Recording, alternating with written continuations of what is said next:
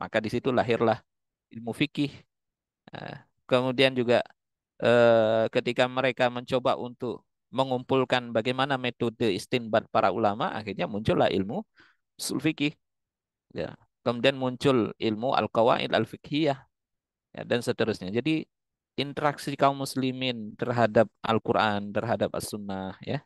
Inilah yang kemudian akhirnya memunculkan atau melahirkan banyak ilmu-ilmu Islam sebagaimana yang kita kenal hari ini. Gitu. Nah, di antara ilmu-ilmu Islam itu sebagaimana yang dibahas oleh uh, Syekh Taqiyuddin Anabhani itu adalah uh, ilmu tafsir ya. ya. Beliau menyinggung sedikit di sini berkaitan dengan ilmu tafsir. Nah, tafsir itu sendiri kata tafsir itu uh, dia berasal dari wazan taf'il. Ya, bagi kita yang pernah belajar ilmu sorof, kita tentu mengenal ada wazan taf'il. Taf'il ini bentuk masdar dari uh, wazan fa'ala. Uh, tafsir dari kata fassaro, mengikut, mengikuti wazan fa'ala. Fa'ala yufa'ilu taf'ilan, fassaro yufasiru tafsiran. Jadi tafsir ini adalah bentuk masdar dari kata uh, fassaro. Apa makna fassaro? Ya, maknanya adalah bayan, penjelasan. Ya, seperti misalnya ada orang yang mengatakan fasar tu syai'a. Ya, fasar tu syai'a. Ya, aku menafsirkan sesuatu. Atau afsiruhu fasron. Ya. Atau fasar tuhu. Fasar tuhu atau fasar tuhu. Maknanya sama ya. Fas, fasar tuhu bitashdid atau fasar tuhu bitakhfif. Ya, maknanya adalah menafsirkan, menjelaskan. Ya, maknanya maknanya adalah bayan tuh aku menjelaskannya. Nah, ini makna tafsir. Nah, sementara perbedaan antara tafsir, mungkin kita pernah juga mendengar istilah takwil ya. Nah, perbedaan perbedaan antara keduanya, antara tafsir dengan takwil. Kalau tafsir itu uh, dia menjelaskan sesuatu yang memang diinginkan oleh lafat itu. Menjelaskan makna lafat itu sendiri ya. Nah, dari sisi bahasa ya. Nah, ketika kita menemukan satu ayat, ya, kemudian ada uh, di dalam ayat itu uh, ada lafat-lafat yang kemudian perlu kita ketahui maknanya secara bahasa, maka ketika kita menjelaskan maknanya secara bahasa, maka itulah tafsir. Nah, sementara takwil, ya, sebagaimana dijelaskan oleh beliau, maknanya adalah bayanul muradi bil makna. Jadi menjelaskan sesuatu yang diinginkan, ya, menjelaskan sesuatu yang dimaksud dengan makna. Nah, dengan makna. Jadi tidak lagi bergantung kepada makna lafat secara bahasa. Nah, tapi sebagian ulama itu menya, me, menyamakan ya antara tafsir dengan takwil itu sama. Maknanya takwil itu ya tafsir juga. Sebagian ulama yang lain mengatakan bahwa takwil ini eh, memalingkan makna dari makna hakikah ke makna majas. Nah, sebagaimana yang kita tahu kalau kita pernah mempelajari uh, ilmu balaghah ya, bahwa satu lafat itu uh, dia punya hakikah, dia punya majas. Ya. Ada makna hakikat yang dikandung oleh satu lafat, ada juga makna majas. Seperti kata al-asad, ya, itu makna hakikahnya adalah al-hayawan al-muftaris, ya, hewan apa namanya hewan buas gitu ya. Nah, tapi eh, makna majas daripada kata asad al asad ya, itu adalah eh, apa namanya laki-laki pemberani. Ya, rojulun sujaun ya, ya laki-laki yang pemberani. Nah, itu makna majas. Jadi sebagian ulama mengatakan kalau takwil itu menjelaskan atau memalingkan makna lafat dari dari hakikoh ke makna majas. Nah, itu takwil. Nah, tapi dua-duanya adalah bagian daripada satu ilmu yaitu ilmu tafsir itu sendiri. Mau itu tas, tafsir itu sendiri atau takwil itu sama eh, dia berada dalam satu uh, ilmu ya. Nah, ilmu tafsir ini uh, kita tidak mungkin bisa menguasai tafsir kecuali dengan mempelajari bahasa daripada Al-Qur'an itu sendiri. Karena sebagaimana yang tadi disebutkan bahwa tafsir itu adalah menjelaskan makna lafat ya maksud daripada lafat Nah, sementara kita tahu bahwa Al-Quran ini adalah uh, kitab yang diturunkan oleh Allah dengan berbahasa Arab, ya Quranan Arabian. Nah, ini adalah Al-Quran dengan berbahasa Arab. Tidak mungkin kita bisa menjelaskan atau menafsirkan satu ayat kecuali dengan memahami uh, bahasa Arab itu sendiri. Ya, kalaupun misalnya ada lafadz ajam, misalnya non Arab, ya itu kalau misalnya masuk ke dalam Al-Quran itu sudah diarabkan. Ya. Ya karenanya eh, ilmu salah satu ilmu penting yang mesti dikuasai sebelum menguasai tafsir itu sendiri adalah uh, ilmu bahasa. Nah, karena tidak mungkin kita bisa menguasai atau kemudian memahami uh, bagaimana makna atau penunjukan makna daripada lafaz itu kecuali dengan memahami bahasanya. Nah, nah, pertanyaannya apakah orang Arab itu sudah pasti bisa menafsirkan Al-Quran karena mereka berbahasa Arab? Syekh Taqiyuddin Anabhani mengatakan di dalam kitab ini bahwa orang Arab memang mereka memiliki eh, apa memahami bahasa karena itu bahasa mereka kan. Mereka memahami betul bahasa Arab karena itu adalah bahasa mereka. Ya. Tetapi belum tentu kemudian mereka bisa memahami eh, tafsir atau kemudian memahami ayat Al-Quran itu secara keseluruhan. Ya. Kenapa? Karena Al-Quran ini ya, punya kekuatan balaghah yang itu tidak dimiliki oleh orang Arab. Ya. Ya, punya kekuatan bahasa yang itu tidak dimiliki oleh uh, orang Arab. Ya. Karenanya kemudian tidak semua di antara mereka itu mampu menafsirkan keseluruhan daripada Al-Quran itu sendiri. Sama sebagaimana para sahabat ya. Sahabat itu uh, tidak semua mereka itu bisa memahami uh, ayat atau kemudian lafat di dalam bahasa Arab sehingga sebagian mereka bertanya kepada sebagian yang lain atau ketika mereka mengalami kesulitan mereka akan bertanya kepada Rasulullah Shallallahu Alaihi Wasallam. Nah, jadi tidak otomatis mereka ini berbahasa Arab kemudian sudah pasti bisa memahami dengan sempurna uh, setiap ayat ya setiap lafat di dalam Al-Quran itu. Ya. Contoh misalnya ya, di dalam Al-Quran itu eh, ada ayat misalnya di dalam surah Al-Basa, di dalam surah Abasa, Allah mengatakan wa fakihatan wa abba ya, dan buah-buahan serta rumput-rumputan. Abban di dalam ayat itu al-ab itu pernah ditanya ya, ada sahabat yang bertanya tentang al-ab kepada Sayyidina Umar bin Khattab ya. Uh, kemudian apa kata uh, Sayyidina Umar ya. Uh, beliau mengatakan nahaina anit takalluf wa ta'ammuki. Ya, kita ini dilarang untuk takalluf. Takalluf itu memberatkan diri menyusahkan diri dan ta'ammuk itu membahas terlalu mendalam jadi yang bertanya ini kan tentu orang Arab juga ya bertanya kepada Sayyidina Umar. Ya, mereka tahu eh, apa memahami betul bahasa mereka itu. Tetapi ada ada lafat kadang-kadang ada lafat di dalam ayat itu yang mereka perlu bertanya lagi kepada yang lain ya tentang maknanya. Hmm. jadi tidak semua orang Arab itu faham makna ah, ada lafat-lafat tertentu di dalam di dalam Al-Quran apakah itu berarti berarti ada lafat di dalam Al-Quran itu yang bukan bahasa Arab katakanlah dia bahasa ajam. Tentu tidak karena tadi kita sudah sebutkan ya eh, di dalam ayat yang kita sebutkan bahwa Allah menurunkan Al-Qur'an ini dengan bahasa Arab ya. Tidak mungkin ada lafat non Arab di situ eh, yang tidak dipahami oleh orang Arab. Nah, ini menunjukkan bahwa ada lafat yang itu digunakan di dalam Al-Qur'an dia lafadznya lafat Arab tetapi tidak semua orang Arab itu memahaminya. Ya. Sama saja dengan kata fatoro ya fatoro. Itu ada yang bertanya apa makna fatoro ya, kepada sebagian sahabat. Ya. Kemudian dijawab bahwa fatoro itu maknanya sama dengan kholako.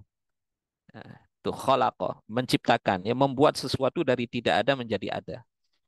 Nah, ketika kemudian dia uh, apa namanya uh, melihat di dalam Al-Quran itu sering menggunakan kata fatoro di di samping lafat kholako.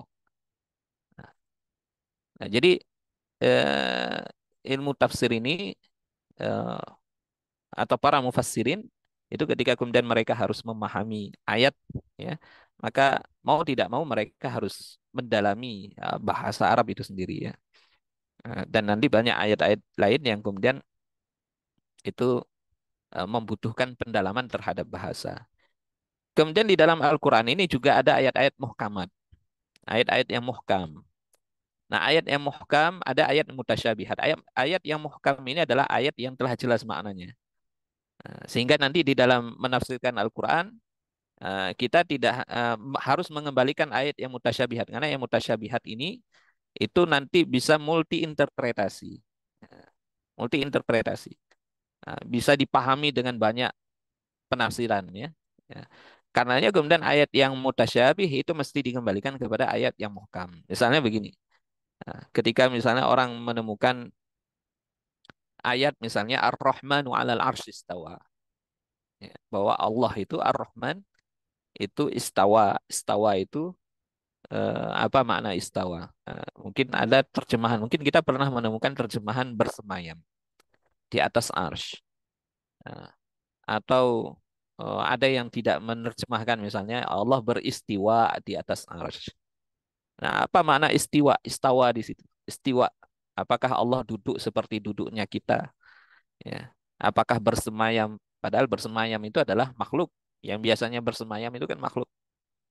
Nah, supaya nanti tidak menimbulkan penafsiran yang itu bisa eh, apa namanya me- mencederai sifat Allah yang itu jauh daripada sifat makhluk, maka ayat-ayat yang mutasyabih semacam itu mesti dikembalikan kepada ayat yang muhkam. Ayat ayat yang muhkam yang mana? Eh, Laisa kamitslihi syai. Bahwa Allah itu tidak serupa dengan sesuatu apa pun. Tidak ada yang serupa dengan Allah. Ya. Bahwa Allah itu punya sifat tapi tidak apa berbeda dengan sifat makhluk. Sehingga nanti ayat-ayat mutasyabihat ketika bicara tentang sifat-sifat Allah, maka mesti dikembalikan kepada ayat yang muhkam. Supaya nanti tidak menafsirkan dengan penafsiran yang menyimpang yang itu bisa mengarah kepada tajsim misalnya kan. Nanti bisa mengarah kepada tafsiran bahwa Allah ini seakan-akan punya jisim, punya tubuh ya, atau tasbih ya. Ya. Eh, apa menyerupakan Tuhan atau kemudian Allah ini dengan makhluk ada menyerupakan sebagian sifat eh, Allah ini dengan sifat makhluk. Nah, kemudian juga di dalam Al-Quran ada ayat yang makkiyah, ada ayat yang madaniyah. Nah, masing-masing punya karakternya. Ayat makkiyah misalnya, sebagian ulama mengatakan apa ayat makkiyah? Makkiyah ini adalah ayat yang dia turun di Makkah pada periode Makkah. Nah, sebagian ulama mengatakan ayat-ayat makkiyah itu ayat-ayat yang bicara tentang surga dan neraka, bicara tentang akhirat, bicara tentang keimanan. Nah, itu makkiyah. Nah, sementara madaniyah adalah ayat-ayat yang bicara tentang hukum. Nah, sebagian ulama mengatakan ayat ayat-ayat madaniyah itu adalah ayat yang turun di Madinah. Nah, ada yang melihat dari perspektif tempat, ada yang melihat dari perspektif isi daripada ayat itu. Yang melihat dari perspektif isi, ya, menggolongkan ayat-ayat makkiyah itu apa me, me- memasukkan eh, satu ayat ke dalam golongan makkiyah itu kalau dia bicara tentang tadi ya surga dan neraka dan seterusnya. Karena kalau kita lihat ayat-ayat yang turun di Mekah itu kebanyakan adalah ayat yang bicara tentang keimanan, tentang umat terdahulu dan seterusnya. Nah, kalau kemudian pakai perspektif tempat, maka makkiyah ini semua ayat apa pun isinya ya, membicarakan apa pun asalkan dia turun di Makkah maka dia makkiyah.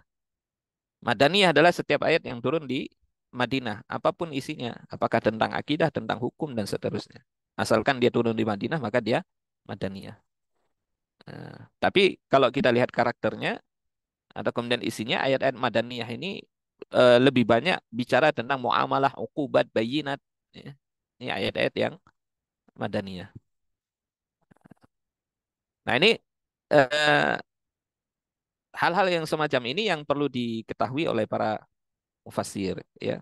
Termasuk juga sababun nuzul nanti ya, sebab daripada turunnya ayat. Memang tidak semua ayat itu punya sababun nuzul ya. Tidak semua ayat di dalam Al-Qur'an itu ada sebab turunnya ya. Kenapa satu ayat ini turun? Ada latar belakang peristiwa tertentu. Tidak semua ayat itu ada ada sebab ya, atau yang menjadi sebab turunnya ayat itu. Ya. Tapi eh, sababun nuzul itu perlu dipahami. Kalau ayat ini memiliki sababun nuzul, maka sababun nuzulnya itu perlu dipahami. Ya. Kenapa? Karena supaya ayat itu tidak eh, apa dipahami supaya bisa dipahami secara tepat. Ya. Nah, meskipun eh, nanti ayat itu tidak hanya berlaku kepada orang-orang yang ada pada peristiwa itu. Nah, ayat yang ada sababun nuzulnya tidak hanya berlaku pada mereka yang mengalami peristiwa itu di mana ayat itu turun berkenaan dengan peristiwa yang mereka alami. Ya. Karena para ulama mengatakan al-ibratu bi'umumil lafzi la bi khususi sabab. Ibroh atau apa yang ada di dalam ayat itu diambil berdasarkan kandungan keumuman lafat ya keumuman ayat bukan karena kekhususan sebab. Tapi kekhususan sebab itu, sebab yang menjadi latar belakang turunnya peristiwa, apa turunnya ayat itu, itu uh, kita pahami supaya nanti tepat di dalam memahami atau di dalam memaknai, menafsirkan ayat itu. Ya. Nah, begitulah uh, berkaitan dengan tafsir ya. Dan para sahabat sendiri mereka adalah kalau kemudian kita mengatakan ya generasi yang paling paham terhadap Al-Quran itu adalah generasi para sahabat ya. Jadi kegiatan tafsir terhadap Al-Quran memang sudah ada di masa sahabat. Meskipun tadi ilmu tafsir sendiri jadi satu kitab tersendiri itu munculnya setelah masa sahabat. Tetapi aktivitas menafsirkan ayat itu sudah ada di masa sahabat. Bahkan di masa Rasul. Ya. Di masa Rasul, Rasul menafsirkan ayat kemudian dijelaskan kepada para sahabat karena fungsi daripada Rasul tugasnya Rasul itu adalah sebagai bayan ya. Sebagai apa namanya menjelaskan ya eh, makna daripada ayat gitu. Sehingga kemudian Rasulullah eh, apa berkepentingan untuk menafsirkan ayat. Meskipun tidak semua ayat itu ditafsirkan oleh Nabi. Ini sebagaimana disebutkan oleh Syekh Ali Sabuni di dalam kitab Atibian fi Ulumil Quran. Beliau mengatakan memang tidak semua ayat di diterangkan oleh Nabi atau ditafsirkan oleh Nabi. Ya. Nah, sehingga nanti di dalam tafsiran para ulama, di dalam kitab-kitab tafsir, kita menemukan sebagian riwayat dari Nabi berkaitan dengan tafsiran ayat tertentu. Tapi tidak semuanya. Nah, sahabat juga begitu. Sahabat juga mereka menafsirkan apalagi yang tidak ditafsirkan oleh Nabi, maka mereka berusaha untuk menafsirkan ayat-ayat ayat-ayat tersebut. Terutama pada ayat-ayat yang sulit untuk dipahami oleh mereka.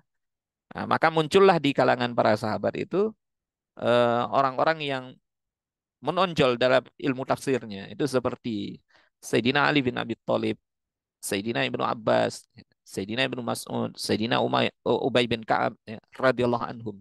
Ini di antara empat orang sahabat yang uh, punya kemampuan menafsirkan Al-Quran di atas para sahabat yang lainnya. Ibnu Abbas misalnya ya, ini pernah didoakan khusus oleh Nabi Shallallahu Alaihi Wasallam ketika beliau dulu usia masih belum balik itu kan jadi khodimnya Nabi ya.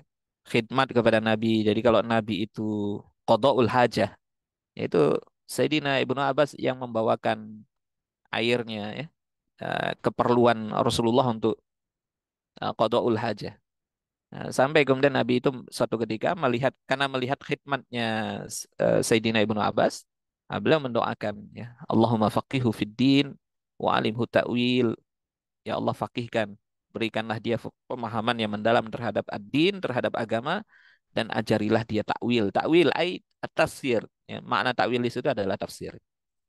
Nah, itu di antara doa Nabi kepada Ibnu Abbas. Karena kemudian Ibnu Abbas ini termasuk sahabat yang unggul. Ya, sahabat yang unggul. Bahrul Ulum, ya, beliau adalah lautan ilmu. Ya, Habrul Ummah, ini tintanya umat. Sayyidina Umar bin Khattab itu memberikan eh, penghormatan khusus itu kepada Sayyidina Ibnu Abbas ya. Karena Sayyidina Ibnu Abbas itu itu bukan hanya mampu menafsirkan ayat itu uh, berdasarkan lafat ya, hanya melihat lafat makna daripada lafat tetapi beliau itu mampu menangkap asrarul Quran ya rahasia Quran ya jadi uh, isyarat-isyarat yang khafifah, khafiyah ya. Isyarat khafiyah. Ini yang seperti yang disebutkan oleh para ulama, Al-Qur'an itu punya isyarat khafiyah. Jadi isyarat-isyarat yang tersembunyi. Yang itu nggak nampak secara lafaz. Ada isyarat tersembunyi di dalam satu ayat itu. Itu mampu ditangkap oleh orang-orang tertentu. Sehingga ada ulama yang kemudian menggolongkan tafsir semacam ini dengan tafsir isyari. Ya, tafsir isyari. Selain ada tafsir uh, apa? Uh, berriwayah dengan biddiroyah atau bid, uh, berro'i. Ya. Nanti di bagian masadirut tafsir nanti uh, Syekh Taki juga akan menyinggung itu. Nah, ada ada isyarat-isyarat khafiyah, isyarat yang tersembunyi yang tidak semua orang itu bisa menangkap itu. Dan ada peristiwa, ini juga dikutip oleh para uh, para imam ahli hadis ya. Di dalam kitab-kitab hadis mereka. Uh, suatu ketika Sayyidina Umar itu pernah mengajak Ibnu Abbas itu ke dalam perkumpulan para sahabat-sahabat senior. Jadi Ibnu Umar eh, apa Sayyidina Umar bin Khattab ketika jadi khalifah itu beliau biasa mengumpulkan sahabat-sahabat senior kalau kemudian ingin mendiskusikan perkara-perkara pentingnya. Nah, suatu ketika beliau mengajak Ibnu Abbas itu masih kecil, usia masih remaja, masih belasan tahun. Ya, masih belasan tahun diajak kumpul dengan sahabat senior. Sampai kemudian ada sahabat senior itu yang berkata kepada Sayyidina Umar, "Wahai Umar, kenapa engkau ajak anak ini? Kita juga punya anak seusia dia." Ya. Artinya anak-anak mereka tidak mereka ajak ke dalam perkumpulan itu. Maksudnya apa istimewanya Sayyidina Ibnu Abbas ini sehingga diajak untuk berkumpul bersama dengan mereka. Kemudian Sayyidina Ibnu apa Sayyidina Umar bin Khattab itu mengajukan satu pertanyaan kepada sahabat-sahabat yang berkumpul di situ. Eh, apa pandangan kalian ketika kalian membaca ayat idza jaa nasrullahi wal fath?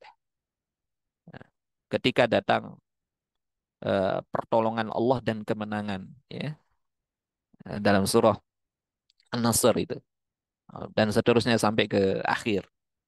Ya, apa makna Nasrullah di situ dan Al-Fath ya, kemenangan ya, pertolongan Allah dan kemenangan. Ada sahabat yang mengatakan uh, itu menunjukkan bahwasannya Allah telah memberikan kita uh, kemenangan terhadap agama ini ya sehingga kemudian kita diperintahkan untuk uh, istighfar, memuji Allah dan seterusnya. Ya, sesuai dengan apa yang ditangkap secara zahir. Sebagian lagi diam, tidak menjawab. Kemudian Sayyidina Umar bin Khattab bertanya kepada Ibnu Abbas, "Ma ra'yukum?" Apa pendapat? Kemudian Ibnu Abbas mengatakan, e, ayat ini itu menunjukkan bahwa telah dekatnya ajal Rasulullah Sallallahu Alaihi Wasallam. Nah, ini kan ini isyarat yang tidak bisa ditangkap oleh semua orang. Dari mana kemudian uh, Sayyidina Ibnu Abbas itu bisa menangkap isyarat itu? Bahwa ayat yang bicara tentang datangnya pertolongan Allah dan kemenangan itu adalah isyarat telah dekatnya ajal Rasulullah. Nah, Sayyidina Umar setuju dengan apa yang disampaikan oleh Ibnu Abbas. Bahwa ayat itu memang menunjukkan ada isyarat yang lain. Ya, menunjukkan bahwa telah selesainya tugas Rasulullah Sallallahu Alaihi Wasallam ketika semua orang manusia itu berbondong-bondong masuk ke dalam agama Allah kan. Ya. Uh, kemudian Jazirah Arab itu sudah uh, dipenuhi dengan Islam. Ya. Makkah telah ditaklukkan. Kemudian kabilah-kabilah sudah mulai mendekat kepada Nabi. Ya. Kemudian mereka membuat perjanjian. Ya. Ada sebagian dari mereka masuk Islam.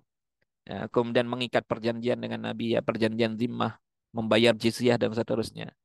Ya. Kemudian orang musyrik tidak ada tempat lagi di di sana kecuali mereka harus masuk Islam. Nah, itu menunjukkan bahwa Rasulullah tugasnya sudah selesai. Nah, kalau tugasnya sudah selesai, maka waktunya Rasulullah itu kembali kepada Allah Subhanahu wa taala. Nah, ini isyarat yang khafiyah, isyarat yang tersembunyi. Itu hanya dipahami oleh mereka yang apa namanya? yang eh, diberikan kemampuan khusus ya, di dalam menafsirkan ayat-ayat Al-Quran. Nah, di antaranya adalah Sayyidina Ibnu Abbas.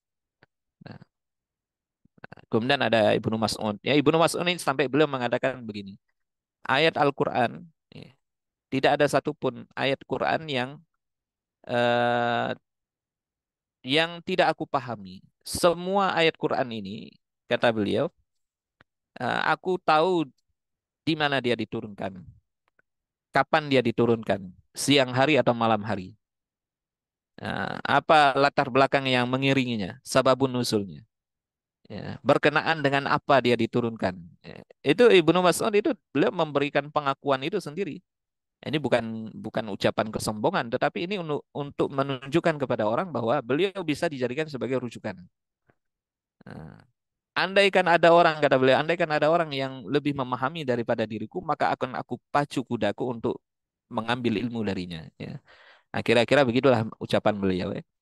Nah, ini sahabat-sahabat yang mereka itu masyhur di dalam melakukan penafsiran terhadap Al-Quran. Sehingga eh, di berbagai kota itu ya di mana kemudian para sahabat ini mereka tinggal itu tafsiran mereka tersebar kemudian dilanjutkan oleh murid-murid mereka nah, jadi mereka ini di antara eh, sahabat yang eh, banyak murid yang datang kepada mereka dari generasi tabiin ya, yang itu meriwayatkan uh, hasil tafsiran mereka. Memang di, mereka tidak menulis kitab. Sayyidina Ibnu Abbas tidak menulis kitab.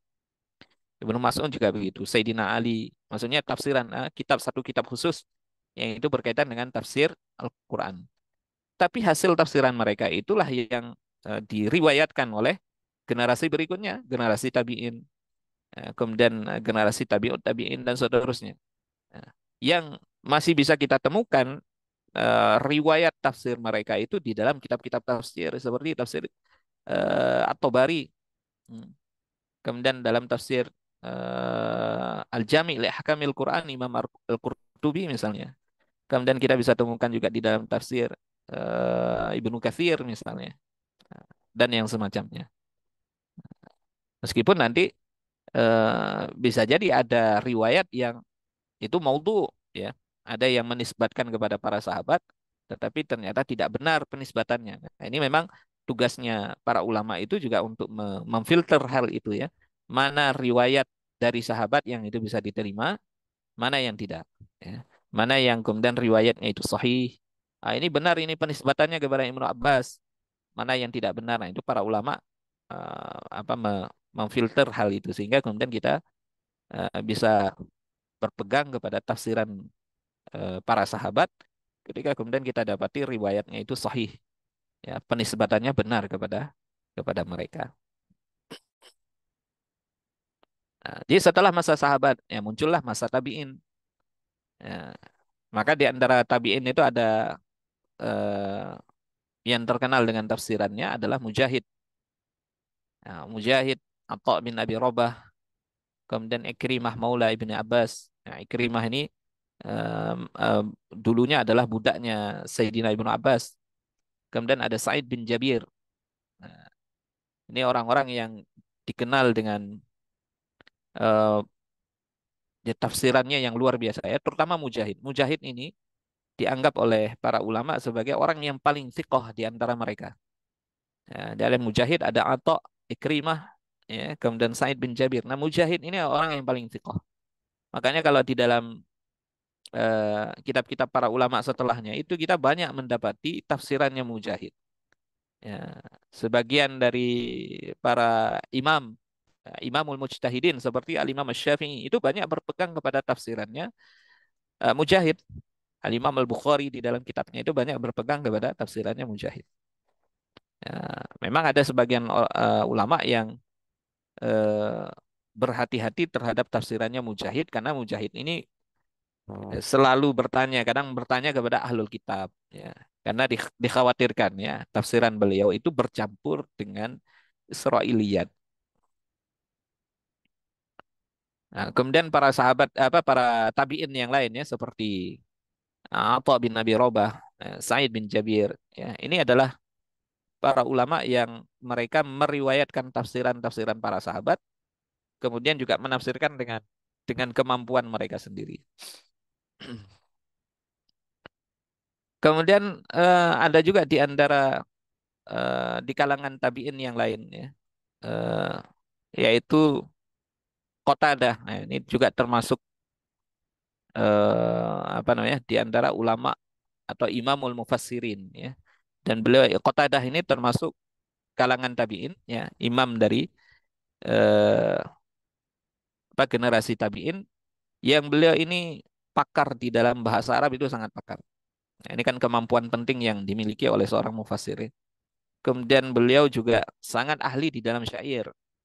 Nah, Bahkan beliau ini sangat mengerti tentang uh, Ayyamul Arab, hari-hari Arab yang maksudnya peristiwa-peristiwa uh, yang terjadi di di bangsa Arab. Kemudian juga mengerti atau faham betul nasab-nasab mereka ya. Jadi dia hafal betul itu nasabnya orang-orang Arab, terutama tokoh-tokohnya.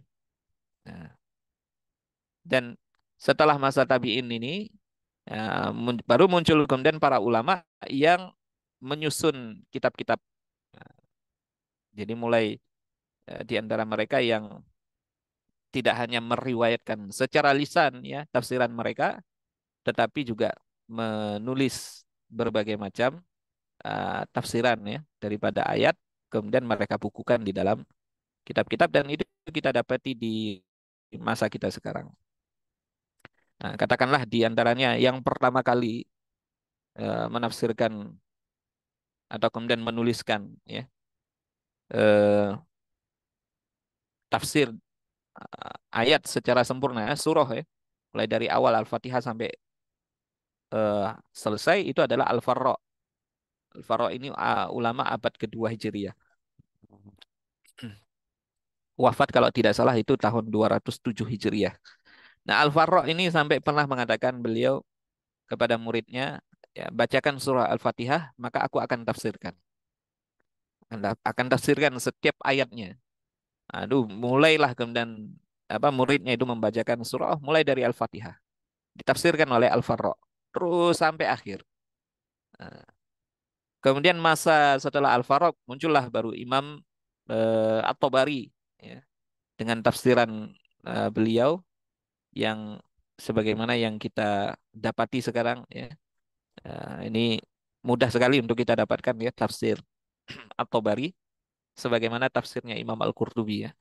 Nah, itu masanya setelah Al-Farra. Ya. Beliau abad ke 4 Hijriah ya, ketiga atau keempat Hijriah. Nah, beliau mengumpulkan beliau lah yang termasuk ulama yang kemudian mengumpulkan tafsiran mulai dari sahabat itu, mulai dari Nabi ya, hadis-hadis Nabi yang itu menjadi tafsiran daripada ayat, kemudian tafsiran para sahabat, kemudian tabiin. Nah, itu dikumpulkan di dalam kitab beliau. Nah, jadi kalau kita ingin mendapati tafsirannya Ibnu Abbas misalnya kan, Mujahid, Qatadah dan lain-lain, maka kita merujuk kepada kitab-kitab tafsir seperti uh, tafsir tafsirnya Imam uh, At-Tabari. Baik, mungkin ini ya sekilas berkaitan dengan tafsir. Uh, saya kira nanti untuk pembahasan berkaitan dengan uslub ahli tafsir nanti kita bisa bahas di dan masadiru tafsir ya, berkaitan dengan tadi yang kita singgung ya. ada tafsiran bidiroyah, birriwayah, Kemudian ada tafsir isyari ya. Itu nanti kita akan bahas di pertemuan berikutnya insya Allah. Saya kembalikan ke Akhuna Mirza. Assalamualaikum warahmatullahi wabarakatuh. Waalaikumsalam Alhamdulillah sudah sama-sama kita dengarkan kajian malam hari ini pemaparan dari beliau yang begitu luas mudah-mudahan kita mendapatkan banyak insight pada malam pastinya uh, akan menambah keberkahan yang kita. Tak cukup situ Bapak Ibu. Tentu ada banyak hal yang perlu kita konfirmasi lagi ke Ustadz. Bisa jadi mungkin sudah tersampaikan tadi atau bisa jadi mungkin di kajian yang lain. Maka kami buka kesempatan bagi Bapak Ibu jemaah siar malam pada malam hari ini. Wah suaranya kurang keras ya. Padahal sudah di depan ini. Terima kasih Bu Faiz. Nah, pada malam hari ini kita persilahkan kepada Bapak Ibu sekalian yang mau bertanya. Silahkan langsung tulis di kolom komentar boleh, langsung raise hand dan di unmute juga boleh. Silahkan Bapak Ibu.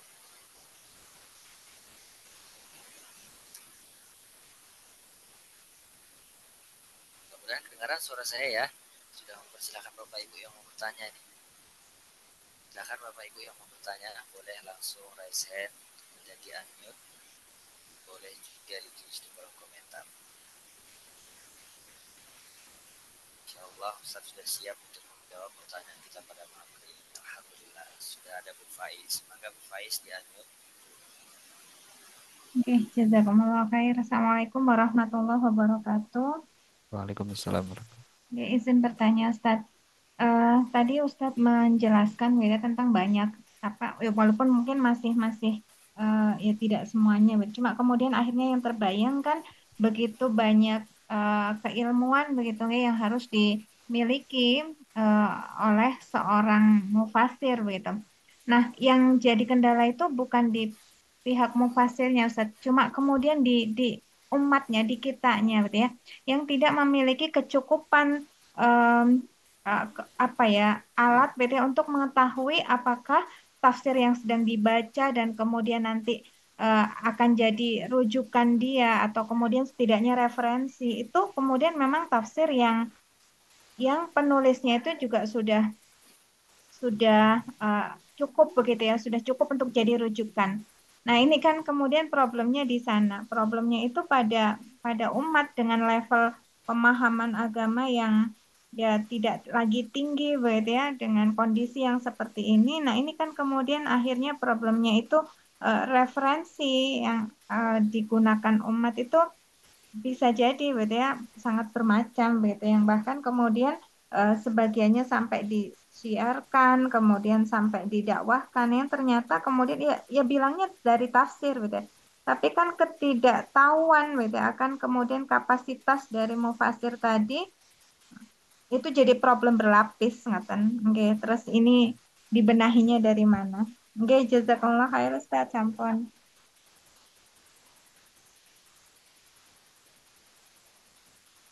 Baik, Alhamdulillah sudah sudah disampaikan tadi pertanyaan langsung dari Bu Faiz.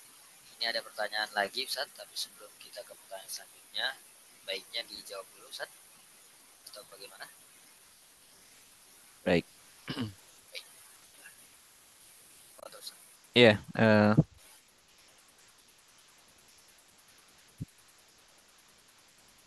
eh, karenanya di bagian eh, pembahasan setelah pembahasan uslub para mufassirin ya, itu Syekh Taki kan me- membuat satu pembahasan khusus berkaitan dengan eh, masadiru tafsir ya, sumber-sumber tafsir. Nah, ini kenapa penting ya? Supaya eh, umat ini tahu ya, kita ini paham bahwa eh, tafsir itu ada sumbernya. Ya, ada ada sumbernya yang kita mesti kembali kepada masadir itu, kepada sumber itu. Nah, kita yang paham tentu kita yang harus menyampaikan kepada umat ini. Jadi kita harus sampaikan kepada umat bahwa eh, tidak semua yang dikatakan tafsir itu bisa kita ambil dia sebagai tafsiran Al-Qur'an. Di sana ada tafsir-tafsir yang itu mesti dijauhi. Ada tafsir yang tidak layak bahkan ditinggalkan oleh para ulama.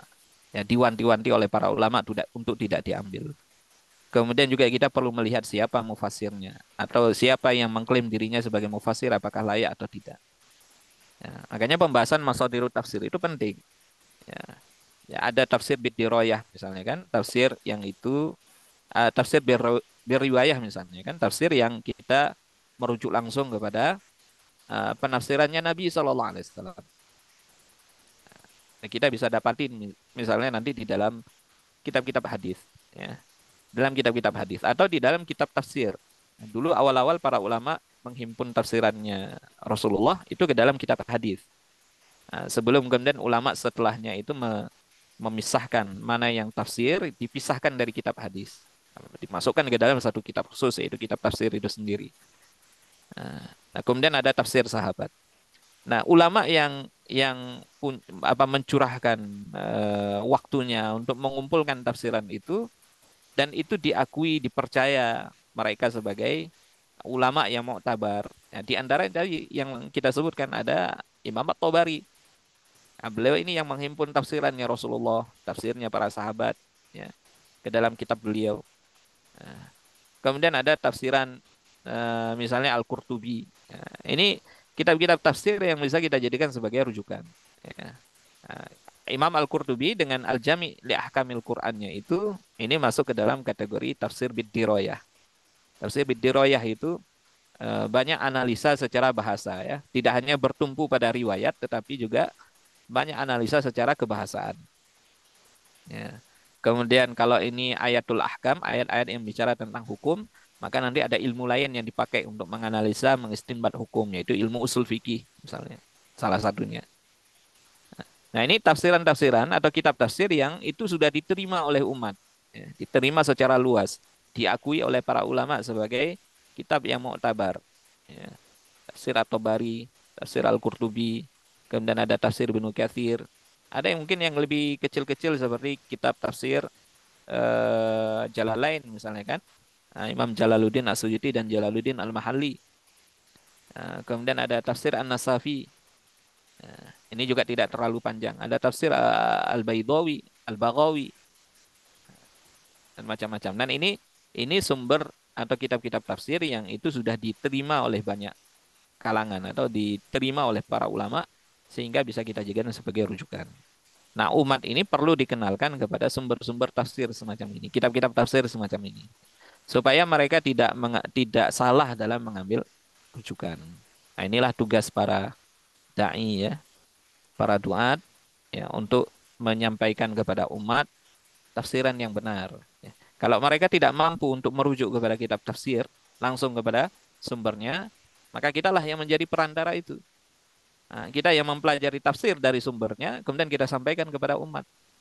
Karena sekarang banyak ya eh, orang yang kemudian me, apa, me, mengklaim dirinya itu mampu menafsirkan Al-Quran, tetapi tidak mengikuti metode para ulama tidak memenuhi kualifikasi sebagai mufassir, ya, tidak punya ilmu alat, ya. intinya tidak memenuhi syarat. Akhirnya kemudian dia tafsirkan sesuai dengan logikanya. Karena pinternya dia dalam uh, menyusun kata-kata, bagusnya retorika. Akhirnya umat ini kan terpedaya gitu kan. Uh, mereka tertipu dengan orang-orang semacam ini dan ini banyak kalau kita lihat di media sosial ya, di YouTube uh, macam-macam ada ada Nah, mungkin kita sebut saja namanya Pak Saiful Karim. Ya.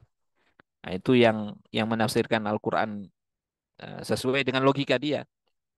Nggak pakai ilmu tafsir, ya, tidak mengikuti metode tafsirannya para ulama, bahkan tidak punya kapasitas untuk menafsirkan itu. Yang dengar siapa? Umat ini, orang-orang awam. Yang mereka tidak bisa memilah ini mana tafsir yang benar, mana yang tidak. Karenanya untuk me, me, apa namanya, me, apa, me, mengimbangi atau kemudian me, menenggelamkan dalam tanda kutip orang-orang semacam ini, maka harus banyak para dai ini yang mereka belajar serius, ya belajar tafsir dari sumbernya untuk menyampaikan tafsir yang benar kepada umat ini. Nah, supaya mereka tidak lari kepada atau kemudian tidak me, me, apa namanya, me, mengambil tafsir dari orang-orang yang eh, yang tadi ya tidak tidak punya kapasitas, tidak mau rujuk kepada para ulama, tidak mau menjadikan para ulama itu sebagai referensi, bahkan merendah-rendahkan para ulama itu di dalam majelis-majelis mereka itu banyak sekali. Ya, yang merendahkan para ulama klasik dulu ya. Nah, itu banyak sekali di antara mereka. Nah, ini tugas kita untuk menjelaskan tafsir yang benar ya, menunjukkan kepada umat mana sumber tafsir yang itu bisa dipercaya. Wallahu a'lam Baik, alhamdulillah Bu Faiz Iya, jazakumullah khair. Baik, alhamdulillah. Iya. Ini kita masuk ke pertanyaan selanjutnya Ustaz dari Abu Syuhada. Izin bertanya Ustaz, bagaimana menjawab orang-orang yang mengatakan kita sekarang menganut tafsir-tafsir sehingga banyak menjadikan perbedaan apa untuk menganut di umat ini agar menjauhi syariat. Nah ini bagaimana Ustaz menjawab? um, kalau kita tidak tidak merujuk kepada tafsir, bagaimana kita memahami ayat? Ya, bagaimana kita memahami ayat itu? Sementara kita tidak punya kapasitas untuk memahami ayat itu secara langsung. Ya, jadi tafsiran itu menjelaskan kepada kita uh, maksud daripada lafat. Apa orang awam itu akan diserahkan Al-Quran, kemudian mereka sudah disuruh memahami sendiri, akhirnya punya tafsiran sendiri. Kan begitu. Nah, akhirnya kan mereka punya tafsiran sendiri sesuai dengan pemahaman mereka kan. Ya, justru itu lebih sesat lagi. Itu malah itu yang sesat ya. Nah, jadi kita e, merujuk kepada tafsir itu sebagai e, implementasi daripada perintah Al-Qur'an. Fas'alu ahla dzikri in kuntum la ta'lamun. Bertanyalah kepada ahli ilmu jika kalian tidak mengetahuinya. Nah, ini orang yang mengatakan bahwa kita menganut tafsir-tafsir ini kan sebenarnya tidak mengerti tafsir, tidak mengerti eh, apa kepentingan tafsir, kebutuhan umat terhadap tafsir itu seperti apa. Ya. Nah, ini jalan ini, ini para ulama menunjukkan jalannya. Nah, ini jalan ini untuk sampai kepada pemahaman ayat, maka inilah jalannya. Nah, sama seperti kita belajar fikih kan. Nah, ini kan jalan ini untuk memahami apa yang Allah turunkan. Allah turunkan syariat. Tidak semua orang itu bisa memahami ya, apa yang Allah turunkan. Ada para ulama yang mereka rasikhuna fil ilmi, orang yang mendalam ilmunya. Mereka lah yang memberikan atau menunjukkan jalannya. Nah, kita ikuti jalannya.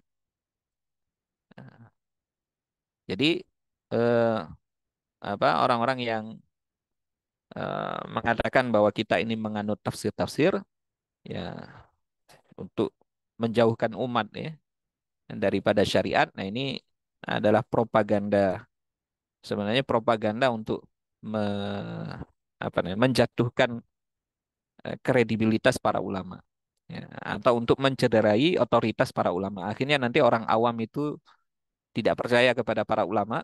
Nah, kalau tidak percaya kepada para ulama, ya akhirnya mereka memahami agama dengan kapasitas akal mereka. Nah, eh, tentu akan uh, menyebabkan umat ini justru akan sesat nanti.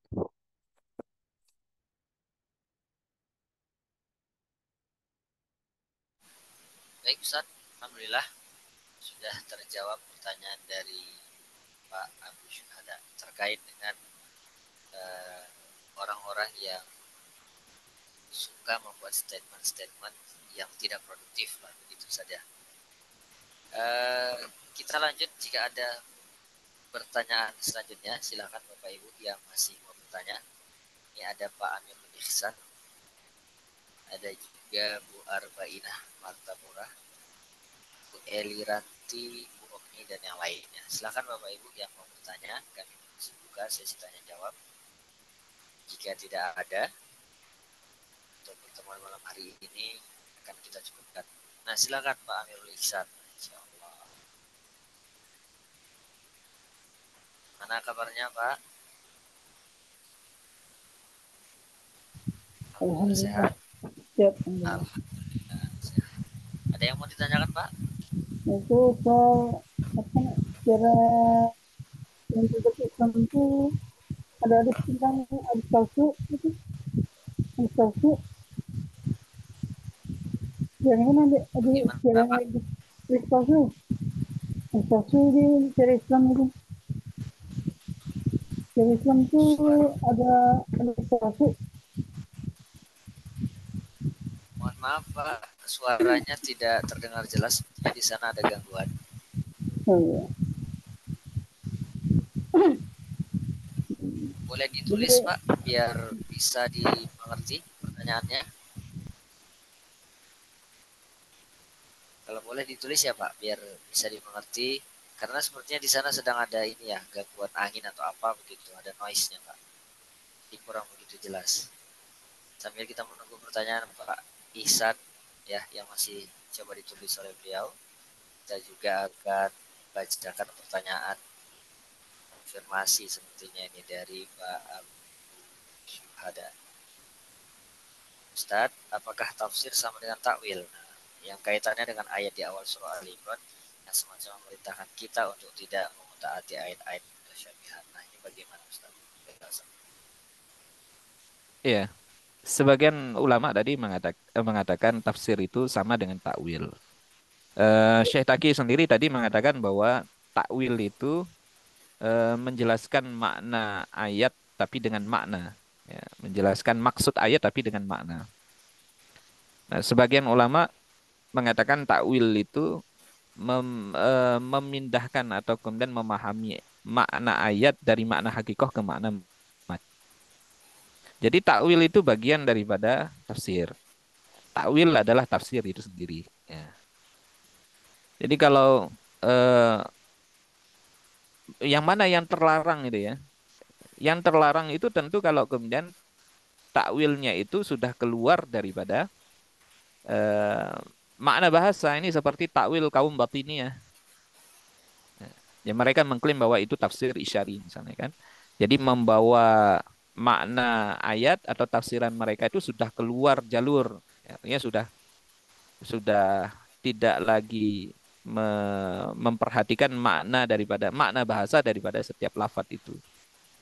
Nah, jadi seperti kelompok uh, mujasimah ya, ketika mereka me menafsirkan uh, apa namanya ayat ayat-ayat sifat misalnya ya uh, cenderung tajsim ya atau kemudian tasbih ya menyerupakan Allah dengan makhluk.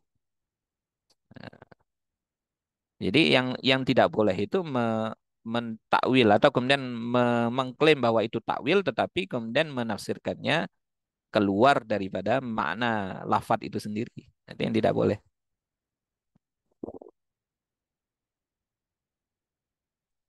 Nah, kalau tafwid, ya tafwid dalam ayat sifat ya, tafwid itu maknanya tidak eh, tidak apa menyerahkan maknanya itu sepenuhnya kepada Allah. Misalnya ketika kita ketemu dengan ayat sifat ya. Ayat sifat misalnya yang menyebutkan wajhullah, wajahnya Allah tentang istiwanya Allah ya, istawa, apa makna istawa dan seterusnya. Ini kalau yang eh, mengambil metode tafwid ya mereka menyerahkan makna itu kepada Allah tidak tidak menafsirkan lebih lanjut ya. Jadi takwil dan tafwid itu sama-sama metode salaf. Ada salaf yang kemudian mentakwil, ada yang mentakwil. Misalnya begini, men, contoh takwil misalnya dari ayat sifat. Istawa misalnya. Apa makna istawa? Istawa ini punya banyak makna di dalam ayat. Ya. Sebagian ulama mengatakan bahwa istawa itu adalah istaula Istaula itu maknanya menguasai. Jadi kalau ada ayat yang menyebutkan Ar-Rahmanu 'alal istawa bahwa Allah itu istawa di atas ars, maknanya adalah Allah berkuasa di ars. Ya, Allah itu istawa di langit misalnya. Itu maknanya Allah berkuasa di langit. itu takwil. Nah, takwil itu masih di uh, masih dalam lingkup makna daripada uh, lafat itu. Nah, jadi mengambil makna yang jauh, ya, bukan makna yang dekat misalnya. Itu juga bagian daripada takwil. Ada sebagian ulama yang tidak mentakwilkan, tidak mentakwil istawa dengan istaula. Nah, jadi ya ketika ketemu dengan lafat istawa ya sudah mereka mengatakan istawa saja. Allah itu istiwa di atas arsh. Apa maknanya? Tafwid. Ya. Mereka menyerahkan maknanya kepada Allah Subhanahu wa taala. Itu tafwid. Nah, itu tafwid itu bagian daripada metode salaf. Ya. Jadi salaf juga eh, ada sebagian mereka yang tafwid, ada yang takwil.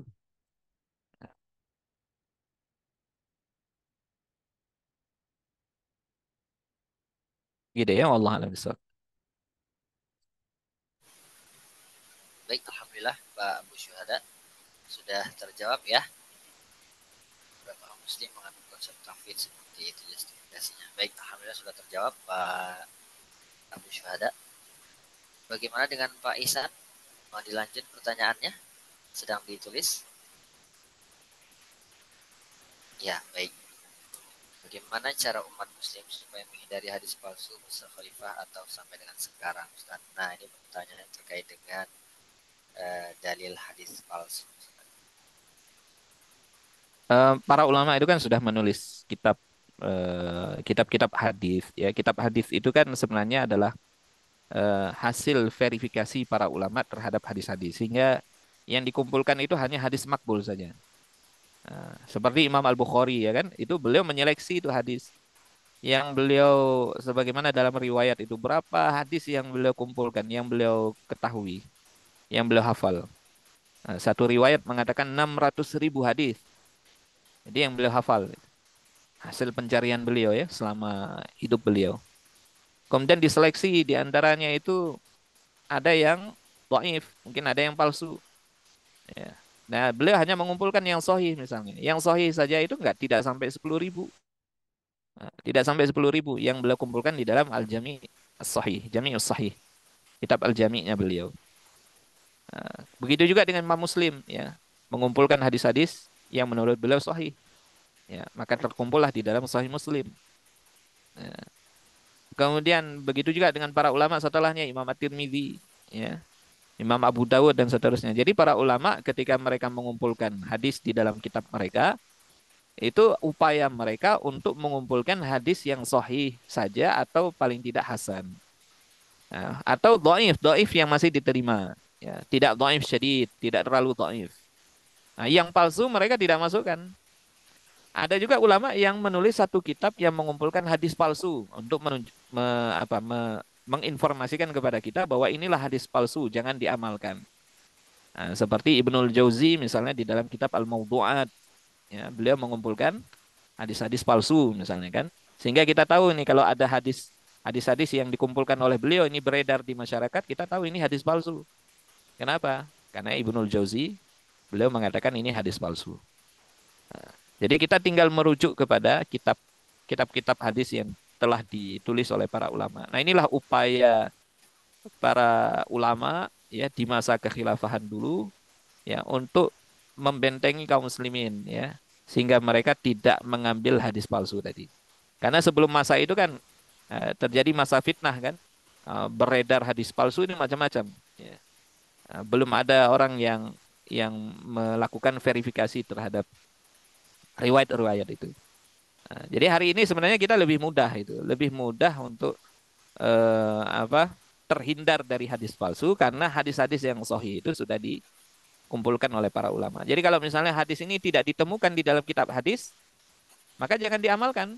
Nah, begitu. Makanya para ulama kalau misalnya mereka menemukan ada hadis tidak ada di dalam kitab Sahih Bukhari, Sahih Muslim atau di dalam kutubus sitah atau bahkan di dalam kutubus tis'ah, sembilan kitab hadis itu tidak ditemukan.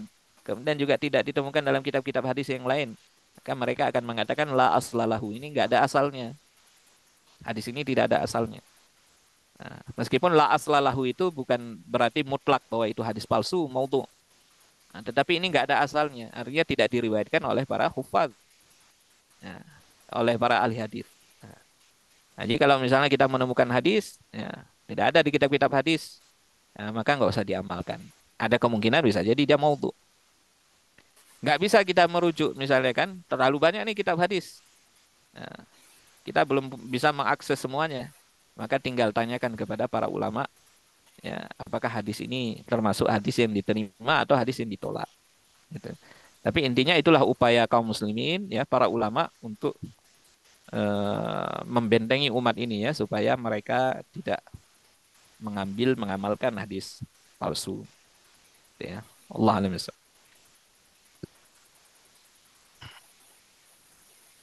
Baik, Alhamdulillah Pak Amir Ihsan pertanyaannya sudah terjawab. Nah ini ada lagi nih dari Pak Abu Syuhada. Alhamdulillah syukur atas ilmunya. Ustadz kalau kita dalam dakwah menjelaskan makna hadis Rasulullah tapi tidak seperti aslinya para ahli ilmu dalam hadis apakah termasuk diancam berdusta atas nama Rasulullah mungkin tidak menyebutkan asal hadis atau mungkin hanya sebatas potongan-potongan Ustaz nah itu bagaimana Ustaz uh, pertama begini, kalau ini maksud meriwayatkan hadis bil makna, itu nggak bisa kalau kita kita ini nggak punya kapasitas meriwayatkan hadis bil makna. Secara makna ya, redaksinya mungkin nggak nggak sama persis seperti yang disampaikan oleh Nabi. Ya, para ulama yang meriwayatkan hadis bil makna itu adalah mereka yang eh, paham betul bahasa hadis, ya, eh, sehingga mungkin ada satu lafat yang mungkin tidak sama dengan lafat aslinya. Nah itu itu riwayat bil makna. Nah kalau kita ini nggak bisa misalnya kita mengatakan ini hadis Rasul tetapi tidak sesuai dengan apa yang disampaikan oleh para ulama. Itu nanti bisa masuk kategori man kadzdzaba alayya muta'ammidan falyatabawwak maka ada minan nar. Kalau kita mau mau meriwayatkan hadis atau kita mau mengatakan ini hadis Nabi, nah, itu ya sampaikan sama persis sebagaimana yang ada di kitab-kitab hadis. Nah, jadi kita eh, atau boleh misalnya kita mengatakan ada hadis yang bicara saya pernah mendengar hadis yang bicara tentang ini. Nah, kita hanya boleh mengatakan bahwa kita pernah mendengar ada hadis yang bicara tentang ini. Tapi kita nggak boleh langsung menisbatkan kepada Nabi atau misalnya kita pakai bahasa kita. Ya, kita meriwayatkan pakai bahasa kita seolah-olah itu itu hadis bahasa Nabi Wasallam. Barang siapa misalnya begitu kan, barang siapa yang melakukan begini-begini maka akan begini. Padahal kita nggak hafal betul itu redaksinya. Kemudian kita mengatakan kola Rasulullah, nah, itu nggak boleh. Tapi kalau sekitar mengatakan bahwa saya pernah mendengar ada hadis Nabi yang melarang ini misalnya. Nah, itu boleh karena kita tidak menisbatkan langsung kepada Nabi atau kita tidak sedang meriwayatkan hadis. Nah, kalau kita mau meriwayatkan hadis, menyampaikan hadis kepada orang lain, maka riwayatkanlah sama persis sebagaimana yang kita dapati di dalam kitab-kitab hadis. Gitu ya. Jadi kalau dalam rangka periwayatan menyampaikan hadis ya itu harus sama persis. Nah, tapi kalau sekedar menginformasikan bahwa ada hadis Nabi yang bicara tentang ini, ada hadis Nabi yang melarang tentang ini, tapi bukan dalam rangka meriwayatkan, nah itu nggak ada masalah. Nah, tinggal nanti orang yang mendengar merujuk kepada hadis ya. Hmm. Baik Ustaz, Alhamdulillah. Jadi sudah terjawab pertanyaan dari Pak Abu Syuhada bahwa aktivitas yang kita lakukan terkadang sering terjerumus pada aktivitas meriwayatkan, periwayatan hadis.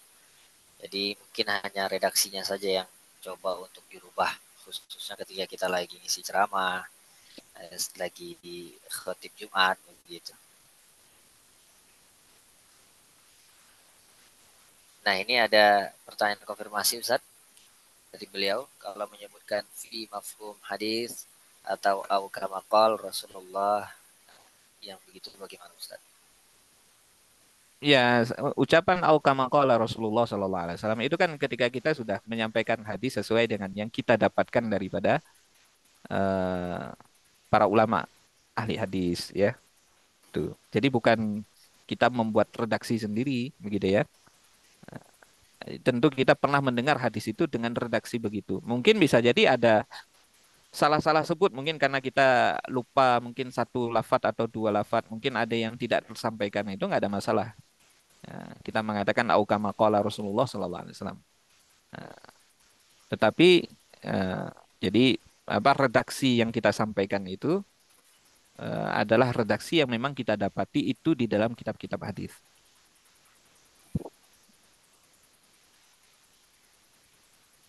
Baik Ustaz, Alhamdulillah sudah terjawab semua pertanyaan dari Pak Abu Syuhada dan para jemaah lainnya.